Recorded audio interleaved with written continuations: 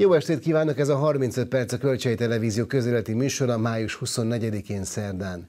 Történelmi helyszínen, Szabolcs településen tartotta idén a Vármegye napját a Szabolcs-Szatmár-Bereg Vármegyei Közgyűlés. Az eseményen adták át a felújított Tomori kúriát is. Az ünnepséget élőben közvetítettük május 20-án szombaton, most egy összefoglaló következik.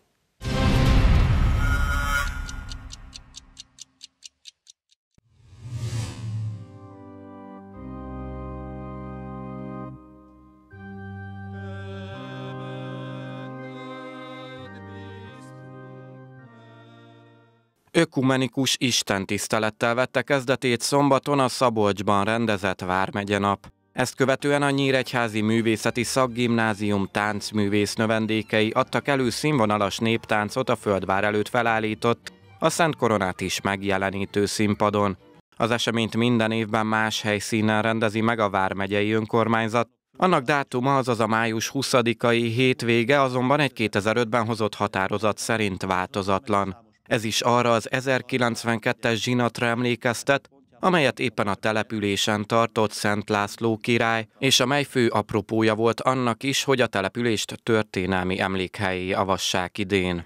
Régi törekvésünk ez, hiszen itt a Vármegyében, a megyében mindannyian tudjuk, hogy milyen fontos emlékhely számunkra ez a nap, és remélhetőleg innentől kezdve az ország valamennyi pontján értesülnek erről a jeles napról, és felkeresik Szabolcs települést, ezt a valóban természeti értékeiben, a hely szellemében oly gazdag települést, felmennek ide a vár fokára, és meglátják a Tiszát, illetve Tokaj hegyét is. Fontos nap ez a számunkra, hiszen történelmi emlékhely lesz ettől a naptól kezdve Szabolcs település, illetve a Földvár és a románkori templom. Legutóbb talán 2017-ben tartottuk itt a e, megye napot, és azóta a megye számos pontján megfordultunk. Zajtán, a megye e, mai leg, a Vármegye mai legkeletibb e, pontján, most pedig itt a legkeletibb pontján, most pedig itt a Vármegye, a mai Vármegye legnyugati pontján találkozhatunk a közösséggel. Az utóbbi időben, mióta ezt az új és megtisztelő vármegyei rangot viselhetjük, sokan megkérdezték tőlem, hogy hát hol van a vár, itt ez fényes bizonyítéka, hogy itt a vár mögöttem, itt az az Árpádkori, sőt, honfoglaláskori földvár, amely eh, a múlt üzenetét hordozza számunkra a jövő reménységével, hiszen Szabolcs település, hogyha jártak itt korábban, a 90-es évek elején, akkor nagyon sok változáson ment keresztül. A mai nap egy kiállító központtal, egy kiállító helyjel is gazdagodik, amelyek élményszerűbbé teszik a Szabolcsi földvárat és az itteni történelmi helyet, a Génius Locit igyekszik megjeleníteni ez, ez a kiállítás számunkra, és biztos vagyok benne, hogy számos turistát vonz a szomszédos Tokajból és a megye számos pontjáról, illetve az ország számos pontjáról. Vinnai Győző a térség országgyűlési képviselője Szabolcs település történelmi jelentőségét emelte ki. A politikus rámutatott, a község a honfoglalást követően az ország központja volt, ehhez mérten kell népszerűsíteni a hely szellemét és identitását. Szabolcs, közel 400 lelkes kis település. Lélek számában kicsiny, de lelkiekben nagyon erős település, egy takaros rendezett település, a történelmi emlékhely címet viselheti. A tizedik század közepén Szabolcs vezérrel, itt a honfoglaló magyarok, miután megtelepettek, nomadizáltak, itt van a Tisza, mellettünk, itt vannak a legelők, és építettek egy földvárat, hogy meg tudják védeni önmagukat és értékeiket, akkor Szabolcs az ország központja volt. Ezt talán kevesen tudják.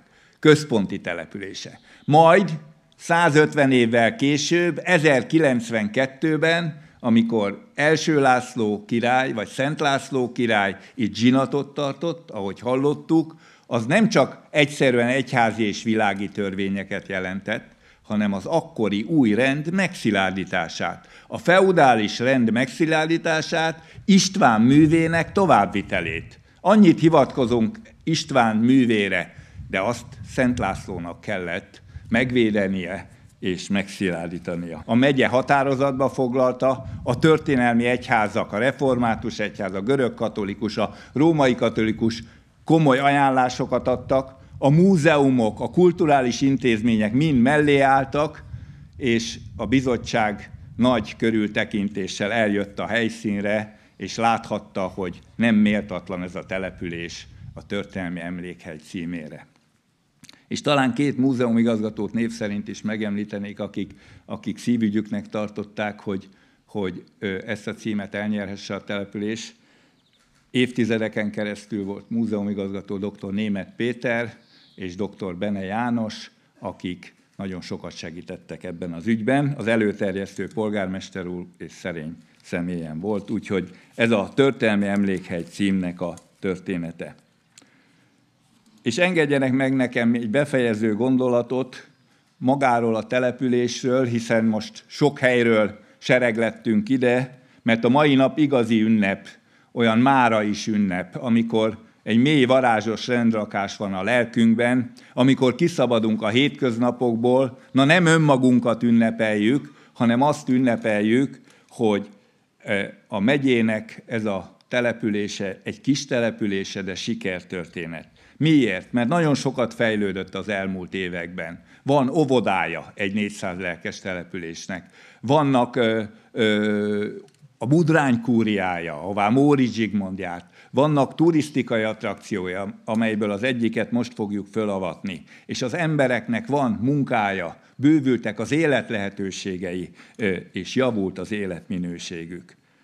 Úgyhogy Szabolcs település maga is sokat tesz azért, hogy példa lehessen, és én azt gondolom, hogy nem csak a történelmi emlékhely miatt, de ez a példa, ez mindannyiunkat inspirálhat. Csegei László Szabolcs polgármestere köszöntőjében kiemelte, a település számos területen fejlődött az utóbbi években. Hozzátette nagy büszkeség a helyiek számára, hogy a történelmi emlékhelyi címhez kapcsolódva a Vármegyei Közgyűlés idén a településen rendezte meg a Vármegye napot. Az elmúlt tíz esztendőben a település lakossági létszáma 380 fő volt, ami azért figyelemre méltó, mert az elmúlt tíz esztendő alatt nem változott napjainkig. Viszont a lakosság összetételébe figyelemre méltó változás következett be. Vizsgáltuk a 20 éves korig, a 20-tól 60 éves korosztályig, illetve a 60 év fölöttieknek az arányát. A 10 évvel ezelőttihez képest a aktív 20 és 60 év közöttieknek a részaránya gyakorlatilag helyek közel változatlan, illetve egy mínusz 3 os csökkenést tapasztalunk. A 60 év fölöttiek részaránya 11 kal csökkent. És ami az érdekes, a 20 év alatti korosztály részaránya pedig 30 kal nőtt. Ez magyarra lefordítva azt jelenti, hogy még 10 évvel ezelőtt 58 év volt a település átlagéletkora, ma ez 53 esztendőre csökkent. Fiatalodó településről kell számot adjak, egyre több a településen ingatlant kereső és letelepedő fiatal házaspár. Ez mindenképpen örömteli, és arra utal, hogy a településnek a megtartó képessége, a megtartó ereje számottevően növekedett. És hogy mitől növekszik egy településnek a megtartó ereje? Hát el kell mondjam, nagyon büszke vagyok azokra a pályázatos projektekre, akár toppos, líderes vagy magyar falu program keretében megvalósult fejlesztések, beruházások, és ezek általában jellemzően infrastruktúrális fejlesztések voltak, amelyek segítettek ennek a megtartó erőnek a megszilárdításába, hiszen új óvodát építettünk, új orvosi rendelőt építettünk, a temetői parkolót megoldottuk, könyvtár, közösségi tér, új községháza áll a itt élők rendelkezésére. Játszóteret építettünk és bővítettünk. Kerékpáros baráttá varázsoltuk a település főutcáját. A csapadékvizet elvittük felszín alatti rendszerekbe. Kommunális eszközbeszerzést eszközöltünk. Parkolót építettünk. Van most már turahajó kikötőnk a Tiszán és hát most a legnagyobb, legutóbbi ékességünk az a Tomori Kúria. Irigyre sem méltó, hogy ez a 380 lelkes település az elmúlt években 763 millió forint támogatást kapott, ebből 725 millió forintot már felhasználtunk, még 38 millió forintot el kell költenünk pár hónapban még hátra a belterületi jádák és csapadékvízrendszerek fejlesztésére.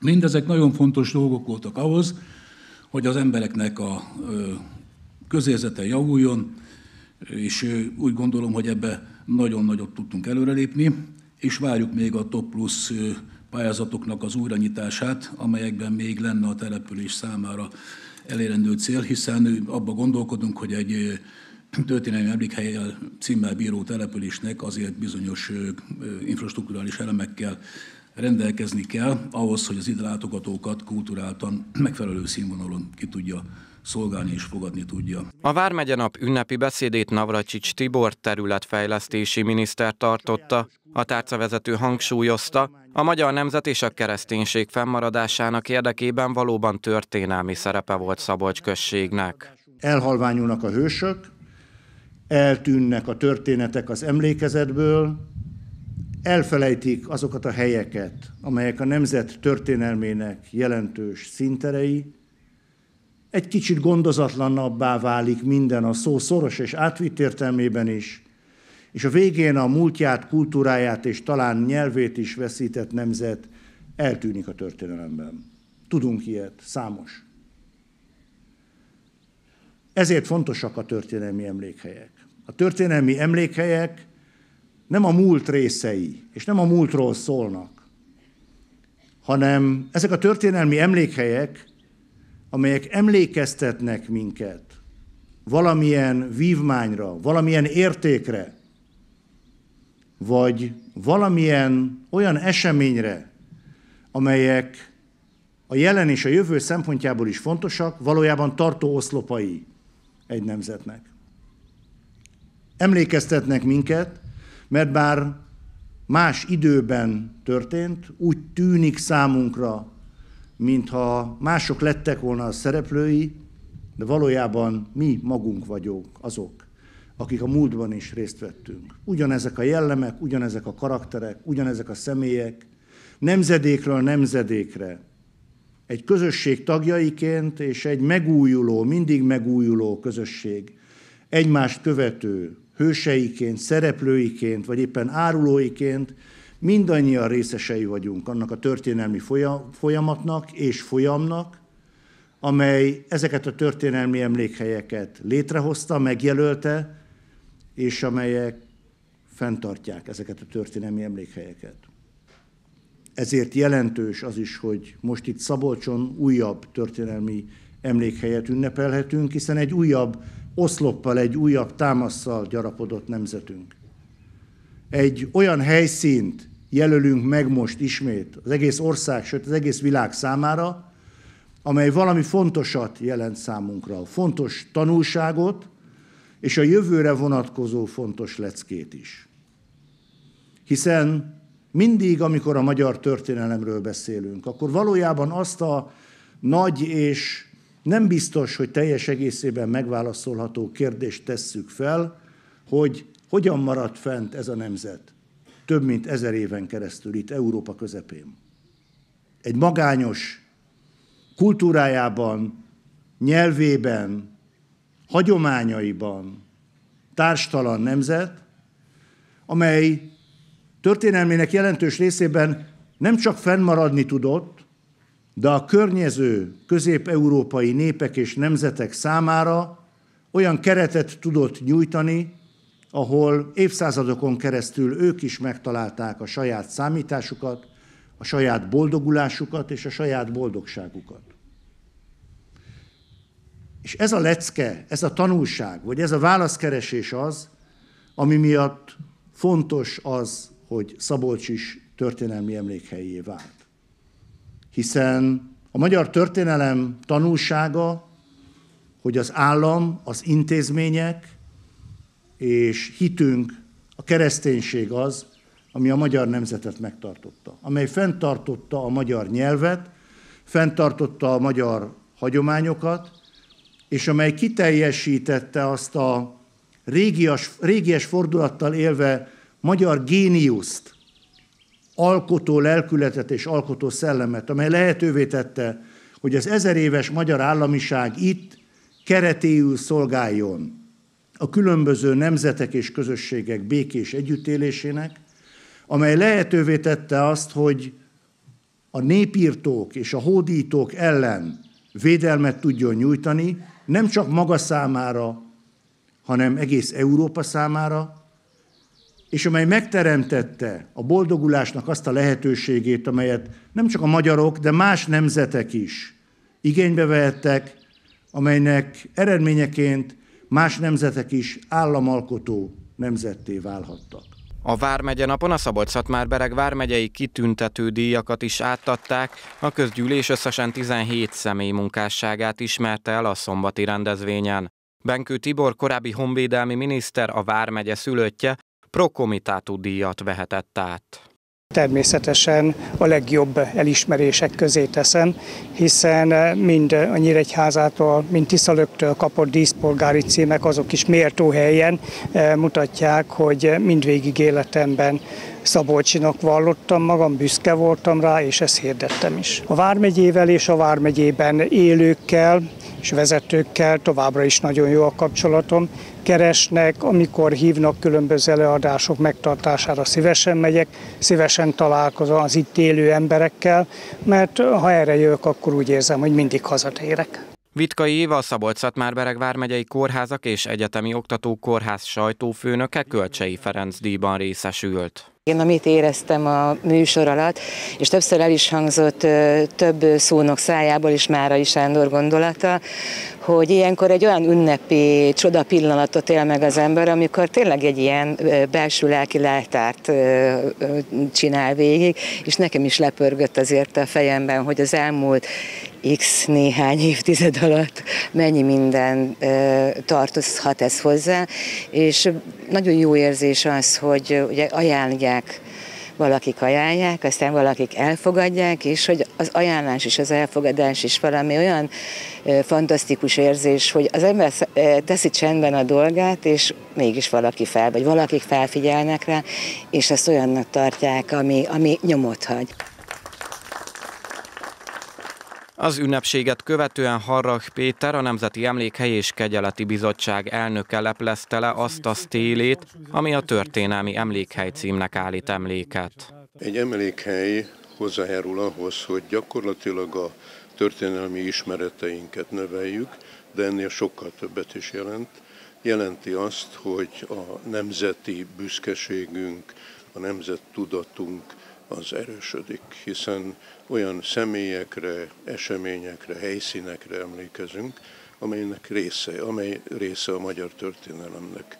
És hogyha ez az identitás építő tevékenység megvan a helyben, az bekapcsolódik az ország egészének a emlékezetébe, és ennek ez a hatása, amit mondtam. Szintén a szombati nap programjának része volt a felújított Tomori kúria felavatása, a kastélyt a top turisztikai pályázatának részeként korszerűsítették és alakították ki benne azt az interaktív látogatóközpontot, ami a Szabolcsi földvárat és környezetét mutatja be. A beruházást a szintén a Vármegyéből elszármazott Simicskó István adta át. Minden régi épület, ami felújításra kerül, esztétikai igényességet mutat, a térséget szebbé teszi, jobbá teszi, miközben egyébként a, a környezet maga is gyönyörű, hisz itt a Szabolcsi vár tövében vagyunk, tehát e, egy nemzeti emlékhelyen, ami, ami meg is érdemelt, hogy az legyen.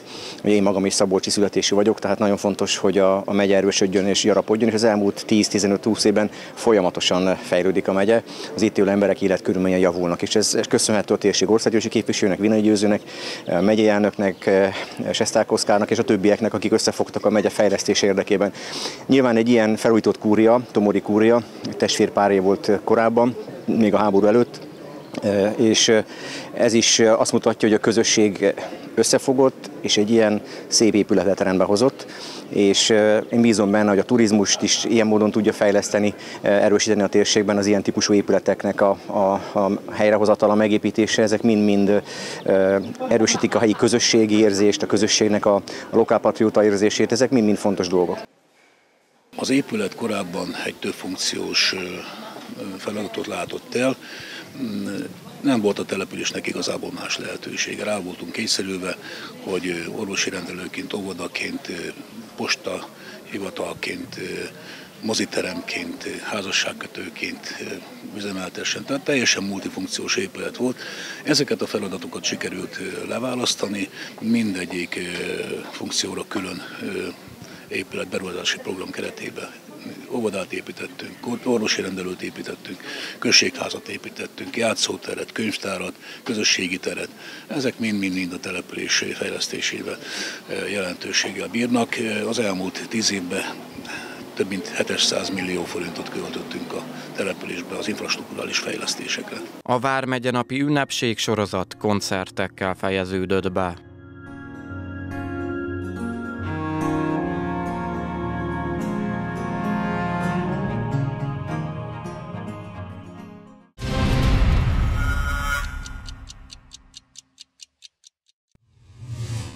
Múlt csütörtökön Nyíregyházán járt az Országos Bírósági Hivatal elnök helyettese, dr. Csillám Katalin. Vadász Mihályjal, a Nyíregyházi Törvényszék elnökével értékelték a 2022-es bírósági évet. Karab Zoltán járt a tájékoztatón.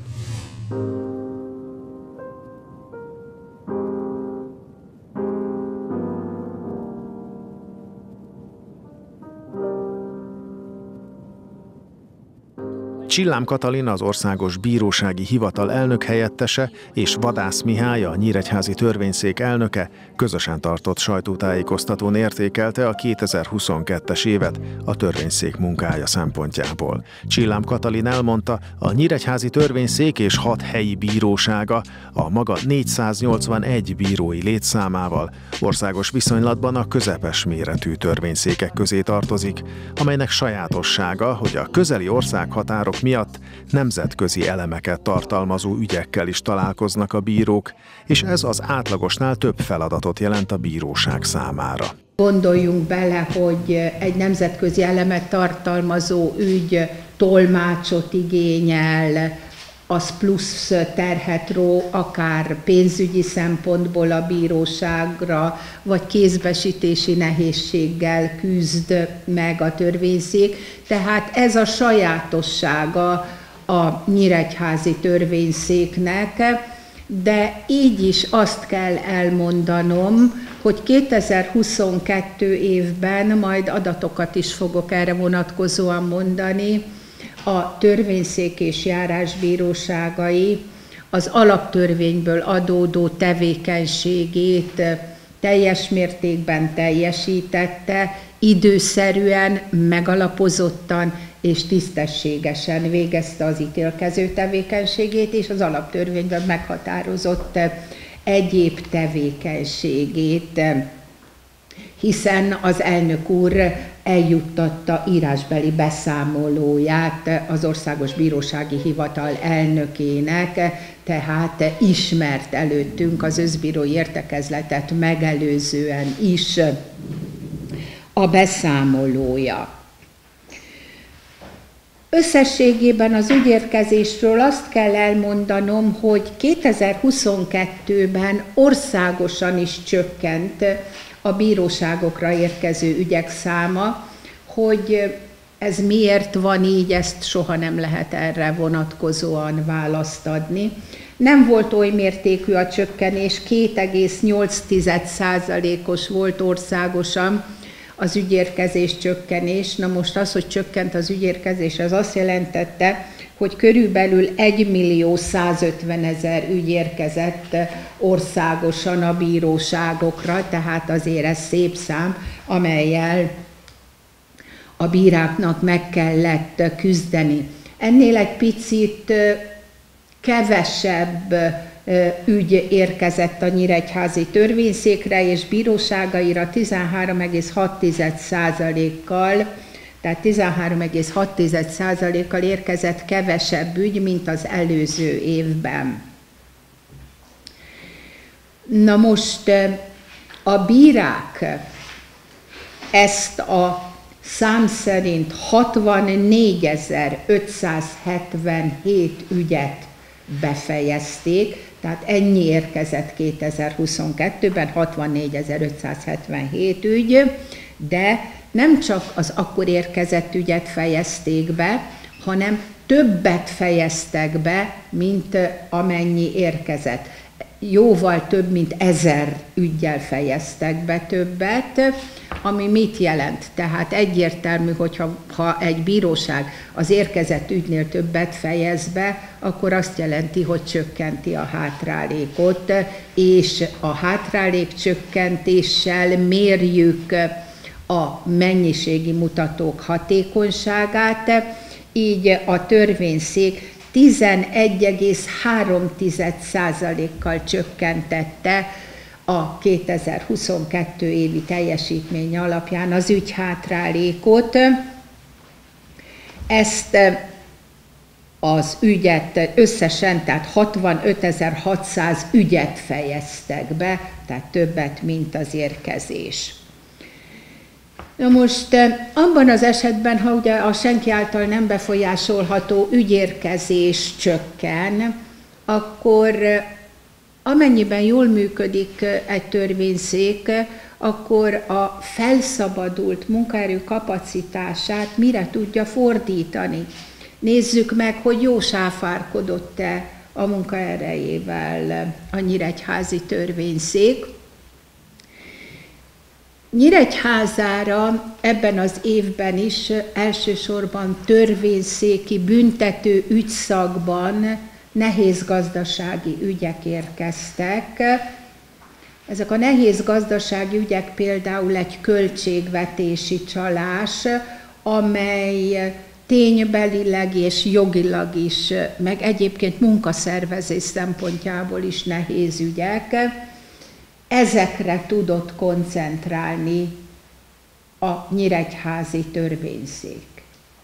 Mindemellett arra is törekedett, hogy a kevesebb ügyérkezés folytán esetleg felszabadult munkaerejét mire fordítsa a régi ügyek befejezésére. Ez a központi igazgatásnak egy veszőparipája, a két éven túli ügyek befejezésére, megalapozott befejezésére való törekvés. 2020-ban hirdetett ebben a körben programot az Országos Bírósági Hivatal elnöke, akár mondhatom is az országos adatokat, rendkívül sikeres a program. Itt Nyíregyházán 43,8%-kal csökkentek, nem, tehát majdnem a felére csökkentek a két éven túli ügyek. Ez is egy óriási teljesítmény, hisz a bíróságok mutatóit, akár a sajtó is mindig az alapján vizsgálja, hogy milyen, hány darab, és melyek azok az ügyek, amelyek a bíróságon elhúzódnak. Vadász Mihály hangsúlyozta, a beérkezett ügyek számát tekintve Magyarországon a negyedik legtöbb ügy a Nyíregyházi törvényszékre érkezik, ha a fővárost nem számoljuk. Az ügyérkezésünk, ahogy elnökhelyettes asszony azt számadatokkal is említette, csökkent 2022-ben, csupán annyival egészíteném ki, hogy a 2020 évi érkezést még így is 3,3%-kal meghaladta. Tehát egyfajta hullámzás tapasztalható, kiszámíthatatlan, hogy milyen ügyérkezéssel fogunk szembesülni. Célunk mindig az, ahogy el is hangzott az imént, hogy időszerűen, szakmailag magas színvonalon feldolgozzuk ezeket az ügyeket. A törvényszék első fokára érkező büntetőügyekkel kapcsolatban szeretném kiemelni azt, hogy egy év alatt 40%-kal emelkedett az érkezése az ilyen ügyeknek.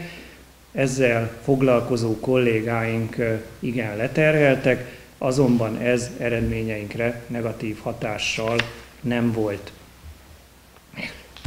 Az időszerűséggel kapcsolatban szeretném még kiemelni azt, hogy a járásbíróságainkra érkezett polgári peresügyek 89,7%-a míg a büntetőperes ügyek 86,7%-a az érkezéstől számított egy éven belül be is fejeződött. A sajtótájékoztatót követően megkezdődött a Nyíregyházi Törvényszék özbírói értekezlete, amelyen egyebek mellett részt vett a kúria elnöke, a debreceni ítélőtábla elnöke, a régiós törvényszéki elnök, valamint a törvényszék bírái. Eddig tartott ma 35 perc, legközelebb jövő héten pünköst hétfőn várjuk Önöket. Köszönöm figyelmüket viszontlátásra!